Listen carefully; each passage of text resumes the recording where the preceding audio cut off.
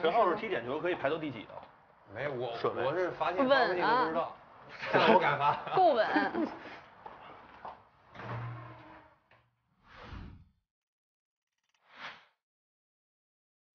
大家好，我是架架。哎，老板，给你听新闻吗？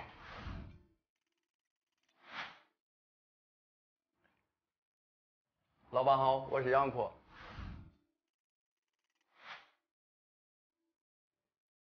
老板好啊，最近生意还可以噻。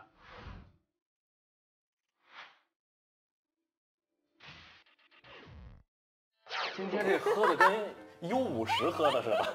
什么 U 五十？又是两位茶叶，啊，您二位的那这个是我的。辛苦辛苦辛苦辛苦辛苦辛苦。睡了几个小时？睡几个小时？三个吧。一般完成打完了好像都这样是吧？嗯，兴奋，打一打完比赛兴奋。是兴奋还有一个累，就有那应该睡得着啊太疲劳，有时候睡不着，有时候出虚汗，出虚汗，真真出虚汗，就累的是，就是躺在床上也动不了，然后出虚汗是吗？就睡的被子全湿了，睡的就。嗯，没解就没那么热，但是一直出汗。他说他去了，你们俩也是吗？我不去。你不能这么问。我没有这种情况。欢迎各位来到本店。下面介绍一下店规，在聊天的过程中，不允许称呼对方的头衔，比如老师、指导、哥等一切带有尊敬意味的头衔。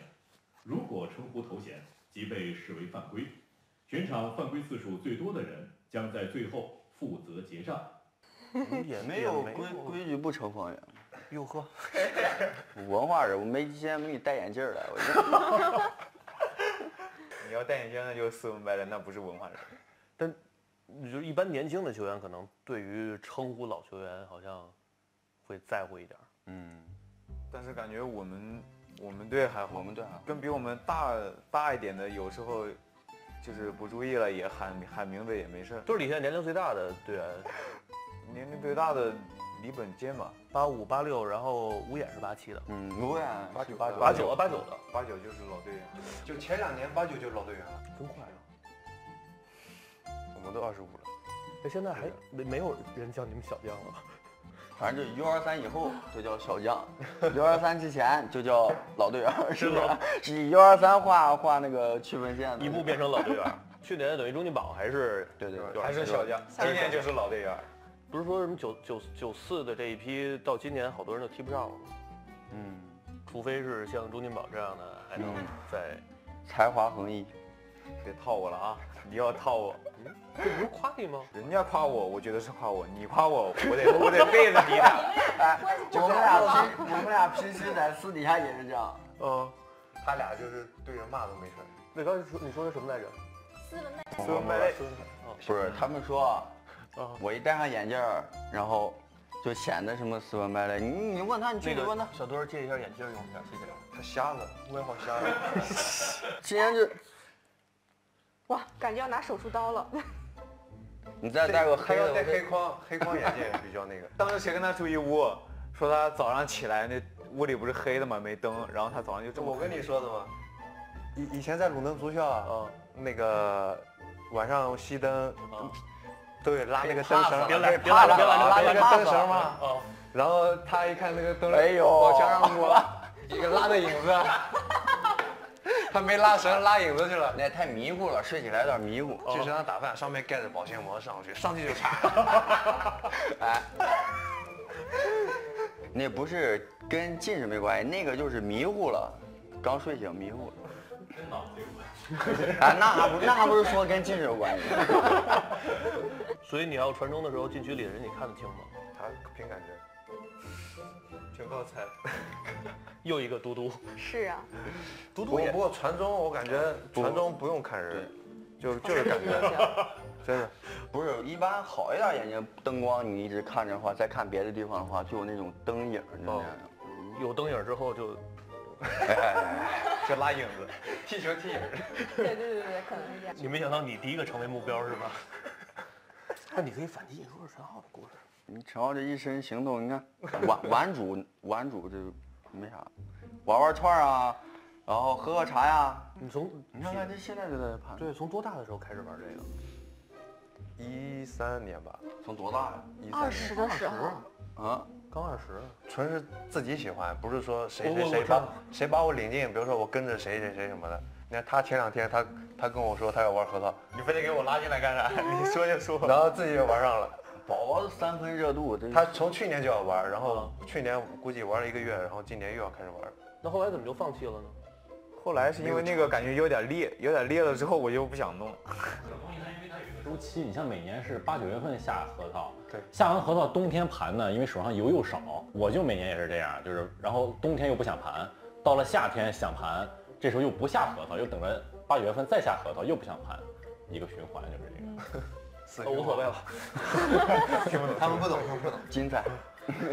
不是，那今天怎么又想想起玩来了？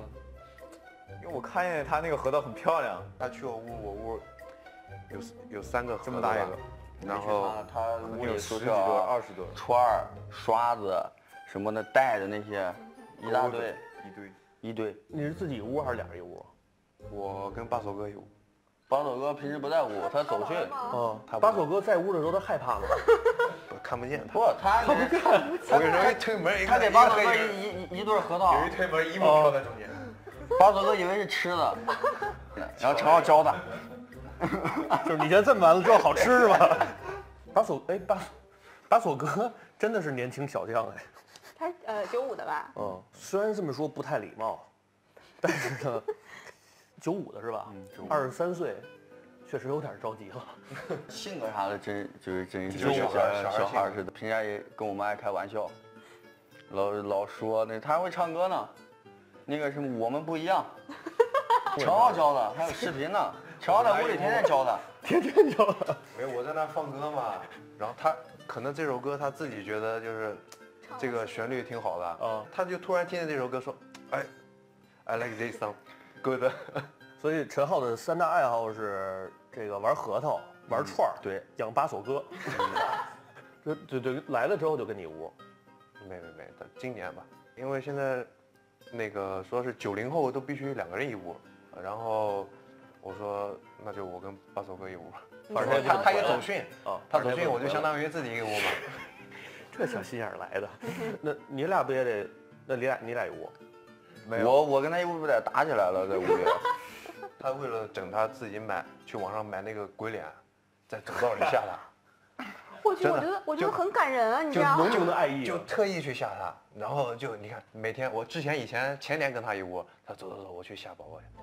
走走，然后我去录视频，我跟在后边录视频，然后他到那边下，买面具他还买不同款式的，这一次下午是这个，下一次我一看，哎，怎么脸都变了？他有提前吃完饭，嗯，跑他屋里，把屋里灯关了，然后躲在柜子后边，然后他一进屋一开门一开灯，叭，哎，我觉得姑娘应该挺喜欢这样的。越听越感人，我就是真的。他在谈恋爱的时候一定也是这样的，就是会比如设设对设计个你俩有小惊喜啊什么情况？惊吓？还有有一次就是，我看见前面陈浩在跟我招手，我一看，哎，他在跟我打招呼，我跟他招个手，没想到他杨过在我后面，然后他其他其实是在跟杨过招手，然后让杨过过来吓我。太幼稚了。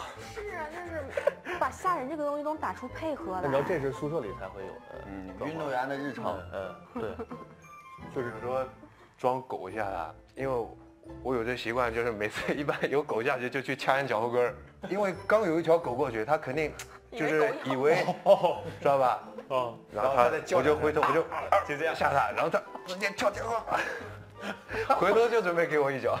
所以你们在队里属于那种被攻击的那种。然后我上车上车门，然后人家就是摁我那个摁我这个头发，你知道吧？哦就是相当于是那个门有点矮，我头碰上去了，然后我就一缩。就是做出来的反应，就是觉得有意思，然后之后逗逗他。他生活或者是比赛的时候最怕什么？啊，他趴这儿，他趴这儿，你一这样他能飞起来，哦，懂。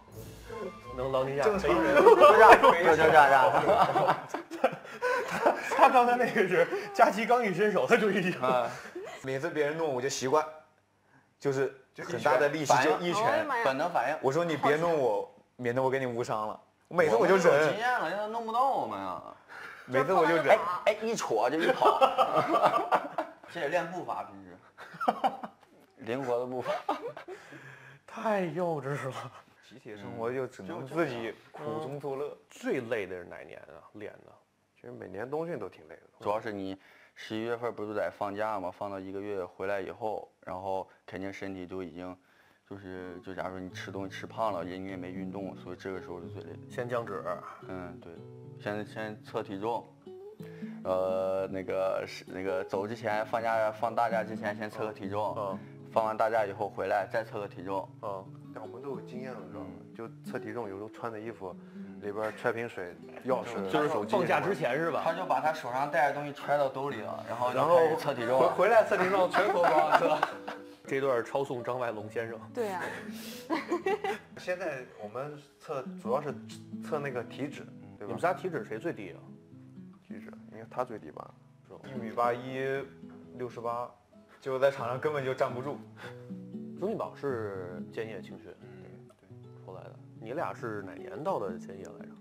我俩，我比他到的，我是一三年年底，他是比我晚了两年吧，他一六年，晚了三年吧。怎么样？这因为建业的球迷好像我觉得挺特殊的，很认真的一个很很认真的球迷吗球迷，球迷，河南的球迷氛围很好的，对啊就是航海体育场，因为航海我记得那球场不是特别大，呃，不是就是因为不大，嗯人能每回都能坐满，每次都基本是满然后然后说话声音就就是哎其实那个气势就给你氛围压着，其实就是，啊，嗯对，嗯，哎，有什么是喊的口号啊，或者什么仪式是你你你一听或者什么就知道说这是在航海主场？专治各种不服吗，对，这句确实是。标志嘛。建业就是中不服啊，我刚才也在看悟，它是什么意思？我我们一直在想断句该怎么断。建业就是轴，不服不轴，走走中那会儿零零九年一零年的时候，我觉得对建业印象还挺深的，感觉是有点儿一不小心打到亚冠的。我们是现打过亚冠，打过中超，打过中甲打过中乙，打过乙级，打过乙级，现在唯一一个，而且是唯一一个就是那个赞助没换过的。啊，二十年没有换过那个建业建业对对对，哎，这个真的是挺，现在就真的没了。之前国安是等于中赫进来之后，对对对，真是挺不容易的，嗯因为这二十年发生的变化太多了。我们老板不说过一句吗？说什么只要我们不不破产，嗯，永远支持建建业那个河南足球嘛。就胡胡宝森，胡胡总，所以也没，胡总，这个我认，这个我认，这个我必须得认。所以呃什么奖金啊、工资也从来没拖欠过。从来没就。你知道这话题吧？你是现在聊起来说二十多年，这个建业的名字一直在，然后，呃，奖金工资从来不拖欠，感觉也没什么威力，好像就这么一句话带过去。但你真但是是你做起来的话，太太难了。每次我们有一个给我们店里留点东西的活动，三位推选一个画画最好的，给我们店里面留下一幅大作平。均实力的啊，石头剪刀布可以啊。哎，赶快赶快，别摸别摸，石头剪刀布。咱们就画贾指导，贾导，对，我先画了啊。哎哎，我没有毫无头绪啊，怎么画呀？要不然画个巴索哥，那不好画。嗯，哎，这个对吧？哎，堆雪人，脖子没有了。哎呦，成败在此一举了。哎呦，我的鸡皮疙瘩都起来了啊时！间。光着腚贴。没有，他可能穿着黑衣服。我再画个贾导，哟，贾导在 上瘾了贾导在指导他踢球，好好好好行吗？这个鼻子太像了，气质。应该是个嘴巴。哎呀，啊，差不多了。右下角记得签名儿。请欣赏杨阔画作《巴索哥》和贾秀全。像啊，太像了，真的是。你们就是一个人吗？在是不是该给贾导和包狗哥对不起一下啊？四开门的冰箱，我觉得。不是，这是让他踢几号墙拿得几分儿这个。我还能不知道？哎，算了算了算了，别干了。关键这个肤色真的是太像了。白脸。哎，我别别别别别，这别播了，这别播了。但是我觉得能能看出一个人的内心来，就是杨过还是一个挺用心了。嗯，挺挺幼稚的一个人。谢谢雷哥帮我。没有，不是我杨过犯规。我我觉得这就是一个可以买面具来吓唬对手的人能画出的画儿。我幼儿园中班水平对吧 他就他就留下来了。好嘞，谢谢谢谢，我一定裱起来，好好挂着，太好了。我已经自暴自弃了。我们进行下一个环节，正问反答。从没有在中超进过球，在场上是不是想冲上前面来一脚？不是，这方面的欲望还是很强烈的。没有。哦，这是这这这是可以正着答的，这这是可以正着答的。了，了，了。后续的后续的不是？那肯定的啦，我这没进过球，肯定想进球啊。有没有准备好这种什么庆祝动作什么的，到时候用？这不是建业对标吗？然后文文，亲一口。哦，谢谢对标在走。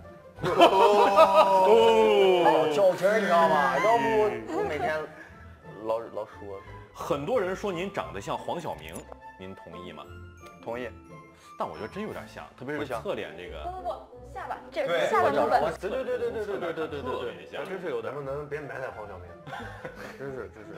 作为一个河南娃，标准嘛，呃，又为家乡球队效力，不能出去闯荡，是不是觉得很没意思？是。我小的时候都在山东嘛，也叫闯荡了。你在山东待了有八九年，跟陈浩一块儿的，然后等于说是我小的时候在外面闯荡，到头时候落叶归根。呃，也不叫什么叫落叶归根，我这文化水平还是有的。不是你要给他说落叶归根了，他就你嗯嗯嗯，我这不可能。去年年底以一张红牌结束了赛季，是不是很后悔？不后悔，就是那个球本身是个角球，嗯最后大概补时个九十呃八十多分钟，呃我们当时是二比一输着，然后当时那个反扑那个势头还挺猛的，嗯。然后那个假如说那个角球说不定能换来进球，说明能多一次机会，然后裁判然后吹了一个门球，然后正好那个边裁路过我们的替补席了，然后我们就。哦，你在替补席上是吧？啊，但是我被换下来了，然后呢，我就说他，呃，说他以后边边裁听见了，然后给主裁判打小报告，不是，人家叫告知，啊告知。啊。然后主裁判就来了，就给我一个红牌，然后我就就发出那个看台那个替补席。转向你钟爱的宝宝，作为队里少有的建业青训，您觉得球迷对您是严苛更多，还是偏爱更多？偏爱。啊球迷说我在场上看球，，VIP 战席。其实他是我们队每场比赛跑动最多的，跑动最多。就你要看数据，呃，冲刺跑啊什么的，他是总距离。就总距离，都是他是高强度，估计他都是上一场对鲁能，七十分钟不到吧，跑了一万多。哎这段就别自己说了，我知道，我就说一下，其实我不是在场上看球，你是跑着看，过分了啊！这句话太狠了，这句话，这句话有点。砸的是我的店，不是你的店啊！你知道这种话其实是真的会伤心的，就真的会让你记住的。因为自己做了，别人还说你没有去做。就是如果说你做这你做不好，被骂还好办。说你比如门前你推一空门没进，人过来你这怎么基础基本功怎么怎么样，认了，认了。这。但你打了一场比赛，球迷说你在场上看球，这个事儿就就是性质是不同的，嗯，委屈的那个程度也不同。我们这个队的打法也不太，就是说也不太就是注重传控嘛什么的，可能就是镜头也不怎么打到，但是一些防守啊、跑动什么的，或者就是牵扯对方的防守人员什么的，动，对，都是在跑动，在在镜头但是看不到的地方无球跑动可能都看不到，可能就全场都在无球跑动。嗯嗯。所以就说我在场上看球，我伤心死了，想哭。曾经和尹洪博搭档中场，您认可他自称铁汉吗？不认可。真的，他真的很硬吗？硬的话倒不算很硬，但是他很拼。一般如果就是说防守上抢的时候，他就是速度特别快，然后然后脚下频率也很快，就是特别容易带动我们也跟着他一块儿上去。嗯，去年在微博上公开了与女友的恋情，是不是被他逼的？是，主动的呗。哎呦，情商高啊，这个回答。吹的。现在每隔多长一段时间就得晒一次幸福，现在不晒了，一年吧，你看不晒吧，就晒那一次。不是，老夫老妻了。现在说状态不好，说我状态不好，然后说是因为这个谈恋爱，实际是实际就是身体不太好，身体不是来，等一会儿啊，你你这个笑有点这个节目刚开始似乎在聊出去哎呦，陈浩每回第一反应都是最最最，你这个笑本来我没有那个意思，搞得陈浩那以为我个反应。挺快的。现在只有二十三岁，但已经在中超有了五十次以上的出场，在心里面还觉得自己是小将呢。不是，因为我在场上就是觉得自己年龄小的话就能多跑动，你不可能觉得自己是就是在队里面，我是这个意思。你需要这个心态的。对最后一个了，啊，我说可等着我了。狠一点老，这个给他司机动不动狠一点，这是老司机。有点害怕，我聊着聊着我俩变成绅士去了。作为一个广东人，是不是觉得胡辣汤烩面很难吃？是是是，从小在外边儿，然后我生活在南京，在潍坊，嗯，然后在济南，这些都生活好几年，就说比较杂吧。曾经是射手王，是在鲁能预备队的时候，十六球我记着，被贾秀全改造成了中后卫，恨不恨他？恨改完之后你不能进球了呀。是我我自己也想改，因为你知道前锋这个位置上确实很难生存，外援全是前锋然后他又正好想然后快点打自比赛，己怎么说多一条路吧。加道就是这给他整的这位置叫锋卫摇摆人嘛，摇摆人前锋后卫摇摆嘛。那我们下一个环节叫做情报站。第一条情报来自于热心观众河南建业的吴先生。杨阔是个很神秘的人，玩游戏很菜，但是还非常嘴硬，输了也不认。先猜这是谁？无言啊，说的是真的吗？肯定假的呀。肯定是啊，你看现在就这样，嘴硬吧？嘴硬，嘴硬，嘴硬。人家已经防着你这一点了。他什么游戏都玩，然后都玩的不行，有人说不行有的有的可以玩，还是来自于河南建业的吴先生说，宝宝能吃，给他一个手机跟吃的，他可以边说边吃一下午，啊，边玩边吃一下午。边说边吃，这嘴够忙的。反正我在家的话，反正就可以不停吃一天。然后龙虾就是那个能吃三盘，三盘小龙虾是吗？是大盘的那种是吧？什么大？三盘儿，三盘儿。队里边吃火锅，基本上每次我都是最后一个。他是冠军。一直吃。吃完了之后，来自于河北华夏幸福的尹先生说，宝宝和杨阔喜欢组队撸啊撸，总是吹自己多厉害，其实都是一坨屎。他还补了一句，玩的都没我好。他这是应该是那个他这个真是这是正话反说的，他这是正话，你应该正话反说。先猜是谁？这喊的是谁？牛魔呀，小雨呢？你。跟他玩过吗？玩过呀，要不然怎么知道他玩那么臭的？就玩巨臭的。行，这这这个我同意。哎，这个他他他是谁在旁边看？见证者哈，他们是啥游戏都玩过，啥游戏都不玩。你天天练手啊？串儿、核桃，再养点花什么的，给花浇点水。这也太老遛鸟吗？给鸟不是要浇水？你再这么一问，哎，对呀，可以玩鸟。打开搭了。热心观众来自于河南建业的冯先生，陈浩是玩玩串儿达人，房间里同时有几个机器同时刷核桃。你那是一制造工厂是吧？没，他这是副业啊，不是主业。就帮忙清理一下嘛，因为我太多了东西。啊，你先说出这个人的名字。冯哲义啊，他其实就是手上有汗，然后沁进去嘛。嗯但你刷，它不是有缝吗？嗯啊，你刷是把汗刷到缝里面，让它颜色一样。他原先给我一屋，嗯先是一台，嗯，二十四小时，放到那个放啊放到那儿。我说你给我放厕所去，我听我这这影响我睡觉这。东西多大？这东西没，就就这么，但是有声儿是吧？有声儿就滋就那声。我说你给我放厕所去。这刷刷这个吧，它得讲究火候，你 火候，因为那个机器吧，你有时候你刷多了，它清理，它就会发干，然后会裂，核桃裂了就坏了。刚刚你说这话的时候，雷哥在摸头，我感觉雷哥像在盘头一样。不是我这头本身不用盘，它自己就出油，你知道吧？我这需要刷。来自于河北华夏幸福的尹先生说：“杨阔和宝宝闷骚，要是发现了喜欢的姑娘，不敢去搭讪，只敢偷偷的看着。我跟你说啊，小尹这说的这两个问题，全是说他自己，真的是就不是在说我俩。他就在这儿刷蹭热度，在这儿 蹭热度，全是说他。各位观众可以发送正确答案到我们的微博 A，小尹当时追的他媳妇儿 B，当时他媳妇儿追的小尹，猜对的观众将获得本节目的签名照一张。好了，完事儿了。哎，咱是不是也该聊聊足球了？是啊，咱们终于要聊足球了。是时候该聊聊足球了吧？就如果你要是用那么两三个词来形容贾秀全的话，认真、严谨，特别能吃苦。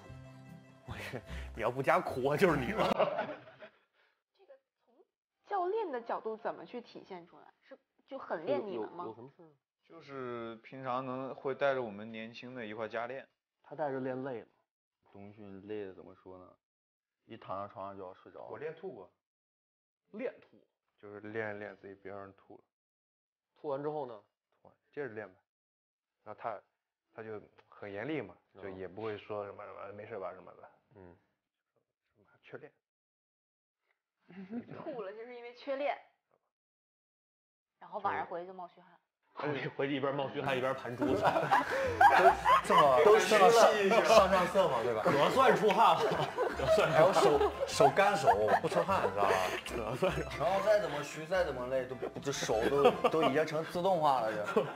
哎，但是那个时候，比如说前几年啊，年轻球员可能对于这种教练特别量很大的这种训练，是不是会不理解，会觉得我太辛苦？年轻球员嘛，对啊，年轻年轻球员就是要得多练，多练。你只有比那些老队员多练，练得更多，你才能就是上场的机会就越多呀。那是你现在的理解，还是说你之前成之前是年轻球员的时候就感觉只理解只？要是年轻球员，肯定就是明白这道理。明白这道理，肯定的。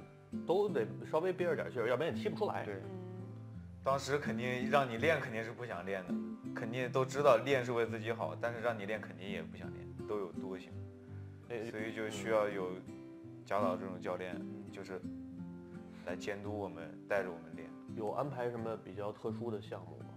我印象深刻就，因为我原来踢前锋的嘛，然后改到后卫以后，他就是练那个，就是门前解围，啊，就你站在禁区线上，然后他把球空门，没有守门员，然后他他射门，就然后你回追，然后各种高难度必须把球给勾出来，救出去。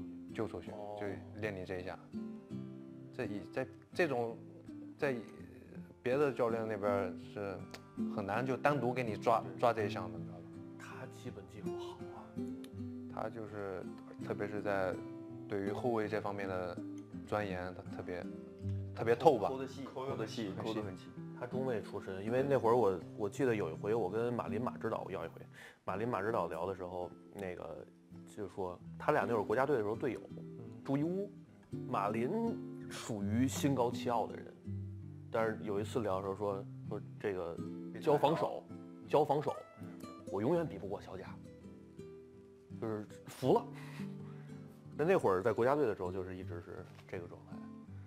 想想，我就那会儿觉得说，哦，原来这么心高气傲的人也会佩服另外一个跟自己年龄差不多的人。你像陈豪本身是从小都是踢前锋的，嗯你突然间你踢中后卫，嗯，你想得需要花多大功夫给他改造什么那些？那个八三年贾秀全指导第一次进国家队的时候，踢的也是前锋，嗯，对。然后他后期自己对对对改回到中后卫上面了。所以他他特别擅长是自己经验这方面亚洲杯的时候，好像踢的中卫是最佳射手。亚亚洲最佳射手，对对，毕毕金浩，老毕，哦，毕金浩也是从嗯也是也是毕金浩也是原来是前锋，嗯也是第一个让加到然后改到后卫，嗯，改到后卫老毕，然后去了国家队，然后那一些。哎，你是不是还那会儿发微博提过？对，就是那个当时看他不是有个视频嘛，就是当时贾导踢球的那个，哦就那一个远射，记得最清楚。看完之后觉得完之后觉得要加力量，腿上没劲儿。贾指导应该是中国唯一一次打进奥运会，嗯唯一一次就是八八年，他是当时的队长。对，其实防守好多门道，这个球迷也好，甚至包括我们说球来说，都不太能理解。补位啊，然后上抢啊，加强啊，就瞎跑，就过去就要那什么，有时候防守防守的有纪律，就有也有技就巧。你你必须到那个地那个地方，你就必须到。他不像前锋进攻的自由，你自由，进攻是相对你想怎么跑就比较自由，防守的就像每次防守的就是阵型站得特别齐，进攻的就是全散开了，看得特别清楚。我们就是想尝试一下，聊一下战术啊，这些就是说啊，他他教我的就是有时候争高空球，嗯，什么外援什么的，你就往他脑袋上先顶一下，就别顶球，他下次他就害怕了，知道吧？这不叫战术吧？这不叫战这叫心理，我觉得这他先把他先战术上的把他先顶吓吓他一下，下次他就不敢顶了。这就是那会儿小斌过来说说，后来的这批球员相对来说比较老实，就是踢的是比较老实的，好多原来的这个哎对小坏招就不再用了。现在中中超很少，你们听过各种前辈们的这种小招数里最夸张的是什么？把钉儿磨尖了吗。哦，以前什么？以前中国就是以前这些不那个不规定，你知道吧？嗯听他们说，以前一上场比赛，全大六钉，这钢钉都都先磨磨磨尖了，上去谁谁谁来了谁怕谁都怕。所以现在上场之前得好好检查鞋钉儿，是吧？现在是检查了，以前都没有这些了。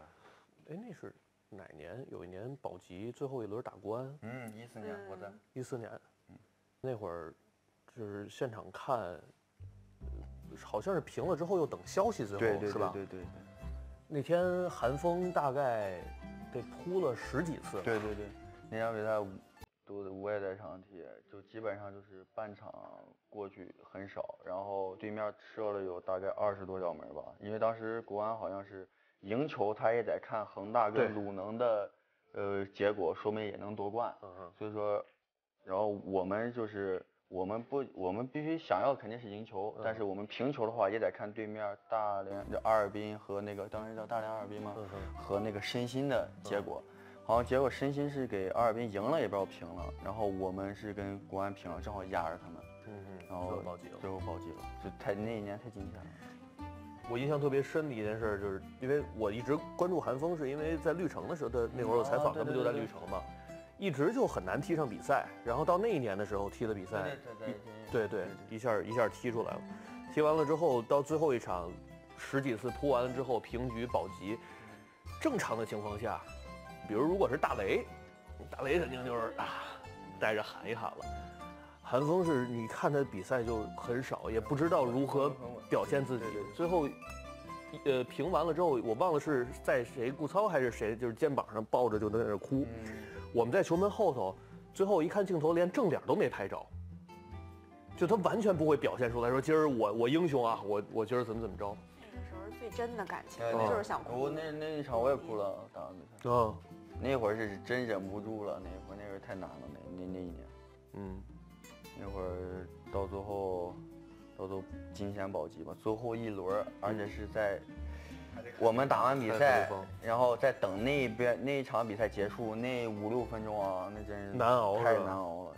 那场之前怎么说的？之前啊，当时是贾导，然后贾导让让我们就是就是平常心，然嗯后就是不要给自己太多压力，然后到最后就我们就劫后余生的感觉。嗯，真是真是嗯，这这关过去可不容易。大难不死，也很锻炼人的心理层面。大难不死。好像这几年都是比较惊险的保级，倒数第几第几因为而且我我我没踢过球，我没经历过那个时刻，但看的真是多了。包括有一年的时候，张文昭还在的时候，亚太也是，就是最后那个比赛踢完了之后，呃，等着青岛那边的消息。张小飞那天没踢，穿一皮夹克挺帅，站在场边上，他不是冷，他就是跟那儿跟那儿抖。你想他那个年龄的球员啊，就跟旁边旁边这么微微抖，就等着那边那消息。知道了之后往场里一冲，哇，那那那那跟夺冠的感觉好像对对对，有点相似对。就跟夺冠。那会儿你印象最深的是什么事儿？就那天，赛前吧，什么都大家都是也不不说话，就是不说不说，不怎么开玩笑了。比平时说的话少啊，。说就就感觉是个就跟打仗就是个战役了，就相当于。但是在比赛上踢，就不想那么多压力了，然后到最后，最后就想最后二十分钟的时候，脑子就一个愿，一定要把这个赢估计估计够呛，但一定要把这个平局守住。你守住的话，还有希望。嗯，然后到最后守守住了以后，一听那边消息，然后他们就在我们下边，然后我们就立马就不行了，就是怎么说，就激动啊，又激动啊，然后哭什么的，这这不是说哭，就是真是忍不住了当时。你要现在我想，我还能想到当时那情景。感觉绷着一股弦儿，终于对对对松开了。就像昨天我们比赛，我们啊，下半场也守了一对一整个半场呀，最后中场上吹完以后，然后我我听我妈那边给我打电话说，说看的人其实比我们踢的人还要紧张。对嗯，对，现在这场就赢了以后也也是挺困难，现在是七分儿。七分儿对。嗯，这么多年好像保级也也都锻炼出来了，是吧？每次上场就想着先拼起来，先给防守做到位，这是河南就是传下来的这个传统，嗯，防守反击，感觉好像自自带属性，不管你什么人来了来了河南就是就是自动领悟这个属性，防守反击。所以今年改起来挺难的吧？因为我听说好像赛季初的时候，塔拉季奇还是想想改变，想改变的，想打传控吗我？们冬训一直练的都是四个四后卫。我记得塔拉季奇下课的时候，我发条微博，我就说，原来江苏舜天的时候也是，就是他刚开始达拉甘打得特别好那阵儿也是反击，后来呃，无论是高洪波带还是谁带，想控球，想要改变，那会儿成绩咵一下就掉下来了，就这事儿特别难。对，特别难。就像巴塞罗那，这永远不可能打，嗯，对，永远不可能打。